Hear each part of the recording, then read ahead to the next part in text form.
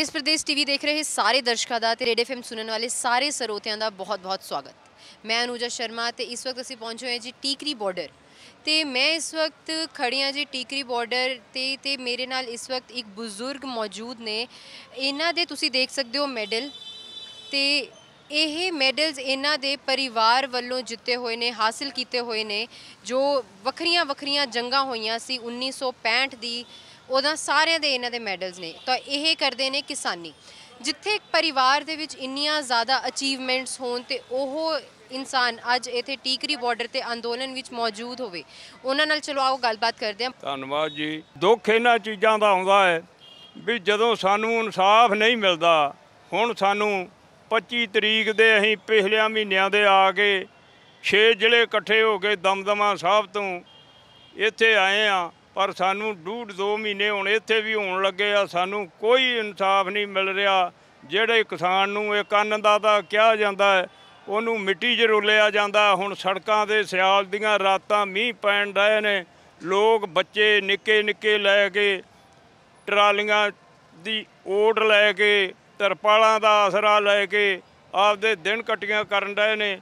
ਪਰ ਸਚਾਈ ਦੇ ਵਾਸਤੇ ਹੀ ਲੜ ਰਹੇ ਆ ਆਪਦਾ ਹੱਕ ਮੰਗ ਰਹੇ ਆ। ਕਿਸੇ ਨੂੰ ਅਸੀਂ ਗੁਲਾਮਾਂ ਤੋਂ ਅੱਗੇ ਸਾਡੇ ਵੱਡਿਆਂ ਨੇ ਵੱਡੀਆਂ ਜੰਗਾਂ ਕਰਕੇ ਛਡਾਇਆ ਹੋਇਆ ਹੈ। ਪਰ ਹੁਣ ਇਹ ਸਾਨੂੰ ਫੇਰ ਗੁਲਾਮ ਕਰਨਾ ਚਾਹੁੰਦੇ, ਅਸੀਂ ਕਿਸੇ ਦੇ ਗੁਲਾਮ ਹੋਣਾ ਨਹੀਂ ਚਾਹੁੰਦੇ। ਜੇ ਆਜ਼ਾਦ ਭਾਰਤ ਆ, ਇਹਨੂੰ ਆਜ਼ਾਦ ਭਾਰਤੀ ਰਹਿਣਾ ਚਾਹੁੰਦੇ ਆ। ਸਾਡੀਆਂ ਜਾਇਦਾਦਾਂ ਸਾਡੇ ਆਉਣ ਵਾਲੇ ਭਵਿੱਖ ਦਾ ਕੀ ਬਣੂਗਾ? ਜਦੋਂ ਸਾਡੇ ਕੋਲੇ ਕੋਈ ਸਕੂਲ ਸਾਡੇ ਚੰਗੇ ਨਾ ਰਹੇ ਪੜਨ ਵਾਲੇ ਨਾ ਰਹੇ ਤੇ ਬੱਚਿਆਂ ਸਾਡਿਆਂ ਦਾ ਕੀ ਬਣੂਗਾ? ਅਸੀਂ ਤੇ ਇਹੋ ਹੀ ਮੰਗ ਸਾਡੀ ਆ ਵੀ ਕਿਸਾਨੀ ਦੇ ਉੱਤੇ ਸਾਨੂੰ ਨਾ ਦੁੱਖ ਦਿੱਤਾ ਜਾਵੇ। ਕਿਸਾਨ ਅੰਨਦਾਤਾ ਜੇ ਇਹਨੂੰ ਸਮਝਦੇ, ਜੇ ਜੈ ਜਵਾਨ, ਜੇ ਕ- ਜੈ ਕਿਸਾਨ ਦਾ ਨਾਰਾ ਹੀ ਦਿੱਤਾ ਹੈ, ਤੇ ਫਿਰ ਇਹਨਾਂ ਦੋਵਾਂ ਚੀਜ਼ਾਂ ਦੀ ਸਰਕਾਰਾਂ ਦਾ ਫਰਜ਼ ਹੁੰਦਾ ਹੈ ਵੀ ਇਹਨਾਂ ਦੀ ਰਾਖੀ ਕਰਨਾ। ਸਾਡੀਆਂ ਸਰਕਾਰਾਂ ਨੇ ਤੇ ਅੱਗੇ ਹੀ ਨਹੀਂ ਸਾਨੂੰ ਕੁਝ ਦਿੱਤਾ। ਦੋ ਦੋ ਕਿੱਲਿਆਂ ਚਾਰਾਂ ਚਾਰਾਂ ਕਿੱਲਿਆਂ ਵਾਲਿਆਂ ਦਾ ਤੇ ਇਹਨਾਂ ਦਾ ਕਰਜ਼ਾ ਮਾਫ ਕਰ ਦੇਣਾ ਚਾਹੀਦਾ ਪਾਪਾ ਜੀ ਕਿਹਾ ਜਾ ਰਿਹਾ ਹੈ ਕਿ ਇਹ ਜਿਹੜੇ ਖੇਤੀ ਕਾਨੂੰਨ ਨੇ ਇਹ ਤੁਹਾਡੇ ਹੱਕ ਦੇ ਵਿੱਚ ਨੇ। ਕੋਈ ਸਾਡੇ ਹੱਕ 'ਚ ਨਹੀਂ ਜੀ। ਜੇ ਸਾਡੇ ਹੱਕ 'ਚ ਹੁੰਦਾ ਤੇ ਸਾਨੂੰ ਆ 300 ਮੀਲ 500 ਮੀਲ ਕਿਉਂ ਆਉਣ ਦੀ ਜ਼ਰੂਰਤ ਪੈਂਦੀ? ਸਾਰੀ ਦੁਨੀਆ ਦੇ ਉੱਤੇ ਸਾਰਾ ਭਾਰਤ ਦੇਸ਼ ਹੀ ਤੁਰ ਪਿਆ। ਜੇ ਕਾਨੂੰਨ ਸਾਡੇ ਕੋਲੇ ਬੜੇ ਬੜੇ ਵਕੀਲ ਨੇ ਸਾਡੇ ਬੜੇ ਬੜੇ ਪ੍ਰਧਾਨ ਨੇ ਕੋਈ ਉਹ ਜਾਣੇ ਆ ਜਿਹੜਾ ਕੋਈ ਕਿਸੇ ਦੇ ਸਮਝ ਨਹੀਂ ਆਉਂਦਾ ਜੇ ਜਦੋਂ ਸਾਡੇ ਨਾਲ ਕੋਈ ਫੈਸਲਾ ਕਰਨਾ ਸਾਡੇ ਪ੍ਰਧਾਨ ਬੈਠੇ ਨੇ ਸਾਡੇ ਬੜੇ ਬੜੇ ਸਿਆਣੇ ਬੈਠੇ ਨੇ ਪਰ ਉਹਨਾਂ ਦੀ ਗੱਲ ਸੁਣਨ ਆਪਦੀ ਦੱਸਣ। ਮੇਰੇ ਨਾਲ ਮੌਜੂਦ ਨੇ ਵਿੱਕੀ ਚੀਮਾ ਜੀ ਜੋ ਕਿ ਸਾਬਕਾ ਡਿਪਟੀ ਐਡਵੋਕੇਟ ਜਨਰਲ ਰਹਿ ਚੁੱਕੇ ਨੇ ਤੇ ਇਹ ਕਿਸਾਨਾਂ ਦੇ ਬਾਰੇ ਥੋੜੀ ਜੀ ਜਾਣਕਾਰੀ ਦੇਣਾ ਚਾਹੁੰਦੇ ਨੇ ਤੇ ਆਓ ਕਰਦੇ ਹਾਂ ਉਹਨਾਂ ਨਾਲ ਗੱਲਬਾਤ। ਸਾਰਿਆਂ ਤੋਂ ਪਹਿਲਾਂ ਮੈਂ ਦੇਸ਼ ਪ੍ਰਦੇਸ਼ ਚੈਨਲ ਦਾ ਬਹੁਤ ਬਹੁਤ ਧੰਨਵਾਦ ਕਰਦਾ। ਜਿੰਨਾ ਇਹ ਸੋਸ਼ਲ ਮੀਡੀਆ ਨੇ ਕਿਸਾਨਾਂ ਦੀ ਗੱਲ ਨੂੰ ਬਹੁਤ ਹੀ ਸੁਚੱਜੇ ਢੰਗ ਦੇ ਨਾਲ ਜਿਹੜਾ ਹੈਗਾ ਉਹ ਰੱਖਿਆ ਹੈਗਾ।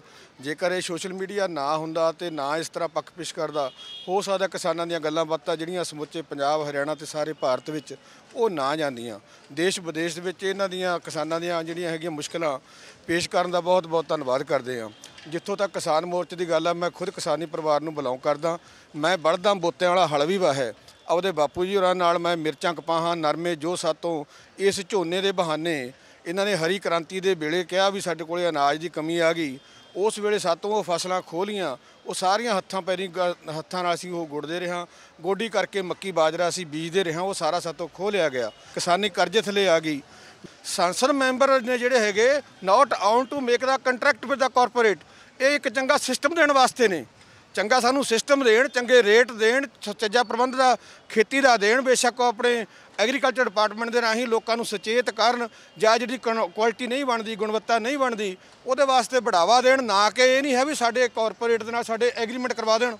ਐਗਰੀਮੈਂਟ ਤਾਂ ਅਸੀਂ ਕਰਨੇ ਹੋਏ, ਖੁਦ ਹੀ ਕਰ ਲਾਂਗੇ ਜੇ ਸਾਨੂੰ ਚੰਗਾ ਲੱਗੂਗਾ। ਇਸ ਕਰਕੇ ਆਪਣੀ ਜ਼ਿੰਮੇਵਾਰੀ ਤੋਂ ਇਹ ਭੱਜ ਰਹੇ ਨੇ। ਕਿਸਾਨ ਜਿਹੜਾ ਦੇਸ਼ ਦਾ ਅੰਨਦਾਤਾ ਹੈ, ਜਿਹੜਾ ਫਾ- ਫਾਰਮ ਜਿਹੜਾ ਹੈਗਾ ਉਹ ਅਨਾਜ ਪੈਦਾ ਕਰਦਾ ਹੈ, ਉਹਦੇ ਤੇ ਬੈਨ ਲਾਤਾ ਵੀ ਤੂੰ ਨਿਆਂਪਾਲਿਕਾ ਕੋਲ ਨਹੀਂ ਜਾ ਸਕਦਾ। ਇਨਸਾਫ ਦੇ ਲਈ ਤਾਂ ਬੰਦਾ ਨਿਆਂਪਾਲਿਕਾ ਇੱਕ ਸਰਵ ਅਦਾਲਤ ਹੈ ਜਿਹੜੀ ਹਾਈ ਕੋਰਟ ਹੈ, ਸੁਪਰੀਮ ਕੋਰਟ ਹੈ, ਉਹ ਇਹਨਾਂ ਤੇ ਇੱਕ ਕੜੀ ਹੈ ਐਗਜ਼ੈਕਟਿਵ ਦੇ, ਐਗਜ਼ੈਕਟਿਵ ਦੀ ਜਿਹੜੀ ਦੇਖ ਰੇਖ ਰੱਖਣ ਵਾਸਤੇ, ਐਗਜ਼ੈਕਟਿਵ ਨੂੰ ਠੀਕ ਕਰਨ ਵਾਸਤੇ ਜਿਹੜੀ ਐਗਜ਼ੈਕਟਿਵ ਦਾ ਕੰਟਰੋਲ ਹੈ ਜਿਹੜਾ ਗਲਤ ਕੰਮ ਕਰਨ ਤੋਂ ਰੋਕਣਾ, ਸਿਰਫ ਜੁਡੀਸ਼ਰੀ ਤੋਂ ਰੋਕਣਾ ਉੱਥੇ ਇਹਨਾਂ ਨੇ ਬੈਨ ਲਾਤਾ। ਇਸ ਕਰਕੇ ਜਿੰਨੇ ਵੀ ਤਾਂ ਕਾਲੇ ਕਾਨੂੰਨ ਨੇ, ਉਹ ਬਿਲਕੁਲ ਰੱਦ ਹੋਣੇ ਚਾਹੀਦੇ ਨੇ। ਐਮਐਸਪੀ ਦਾ ਜਿਹੜਾ ਕੱਲੀ ਝੋਨਾ ਤੇ ਜਿਹੜੇ ਆਪਣਾ ਅ, ਕਣਕ ਨਹੀਂ ਬਾਕੀ ਜਿਹੜੀਆਂ ਹੋਰ ਫਸਲਾਂ ਨੇ ਵੀ ਉਹ ਵੀ ਜਿਹੜੀਆਂ ਜ਼ਰੂਰੀ ਨੇ ਉਹ ਵੀ ਐਮਐਸਪੀ ਤੇ ਰੇਟ ਤੇ ਮਿਲਣ। ਕਿਸਾਨ ਕਿੰਨੀ ਆਕਸੀਜਨ ਦੇ ਰਿਹਾ ਹੈ? ਹਰੀ ਕ੍ਰਾਂਤੀ ਦੇ ਨਾਲ ਕਿੰਨੀ ਕਣਕ ਪੈਦਾ ਕਰਦੇ ਆ ਅਸੀਂ ਕਿੰਨੀ ਜੀਰੀ ਪੈਦਾ ਕਰਦੇ ਆ ਕਿੰਨੀ ਆਕਸੀਜਨ ਦੇ ਰਹੇ ਆ ਫ੍ਰੀ ਦੇ ਵਿੱਚ? ਪੋਲੂਸ਼ਨ ਤਾਂ ਇੱਕ 10 ਦਿਨ 20 ਦਿਨ ਹੁੰਦਾ ਉਹ ਵੀ ਪੋਲੂਸ਼ਨ ਮੈਂ ਨਹੀਂ ਮੰਨਦਾ ਹੈਗਾ ਉਹ ਆਰਗੇਨਿਕ ਹੈਗਾ ਉਹ ਕੋਈ ਹਾਰਮਫੁਲ ਨਹੀਂ ਹੈਗਾ। ਇਹਨਾਂ ਨੇ ਜਿਹੜੇ ਕਾਲੇ ਕਾਨੂੰਨ ਬਣਾ- ਬਣਾਏ ਸੀ ਦੋ ਚਾਰ ਬਿੱਲ ਪਿੱਛੋਂ ਉਹ ਸਿਰਫ ਮਾੜੀ ਨੀਤੀ ਨਾਲ ਬਣਾਏ ਤੇ ਉਹ ਇਹਨਾਂ ਨੇ ਸਿਰਫ ਵਾਪਸ ਲੈਣ ਦੀ ਨੀਤੀ ਨਾਲ ਪਹਿਲਾਂ ਹੀ ਬਣਾਏ ਤੇ ਉਹਨੇ ਕੁ ਵਾਪਸ ਲਏ ਨੇ ਅਜੇ ਤੱਕ ਸਰਕਾਰ ਨੇ ਲੀਹ ਤੇ ਨਹੀਂ ਆਈ ਕੁਝ ਨਹੀਂ ਕੀਤਾ ਹੈਗਾ। ਆਪ ਆਪ ਸਭ ਦਾ ਬਹੁਤ ਇਹ ਸੀਗੇ ਜੀ ਵਿੱਕੀ ਚੀਮਾ ਜੀ ਜੋ ਕਹਿ ਰਹੇ ਨੇ ਕਿ ਕਿਸਾਨਾਂ ਨੂੰ ਉਹਨਾਂ ਸਰਕਾਰ ਦਾ ਪੂਰੀ ਜ਼ਿੰਮੇਵਾਰੀ ਬਣਦੀ ਹੈ ਕਿ ਕਿਸਾਨਾਂ ਨੂੰ ਉਹਨਾਂ ਦੇ ਰਿਸੋਰਸਸ ਦਿੱਤੇ ਜਾਣ, ਉਹਨਾਂ ਦੀ ਸਹੂਲਤ ਅਨੁਸਾਰ ਉਹਨਾਂ ਨੂੰ ਚੀਜ਼ਾਂ ਪ੍ਰੋਵਾਈਡ ਕੀਤੀਆਂ ਜਾਣ ਤੇ ਖੇਤੀ ਕਾਨੂੰਨ ਵਾਪਸ ਹੋਣੇ ਚਾਹੀਦੇ ਨੇ। ਕੈਮਰਾਮੈਨ ਸੁਨੀਲ ਦੇ ਨਾਲ ਅਨੂਜਾ ਸ਼ਰਮਾ, ਦੇਸ਼ ਪ੍ਰਦੇਸ਼ ਟੀਵੀ, ਟਿਕਰੀ ਬਾਰਡਰ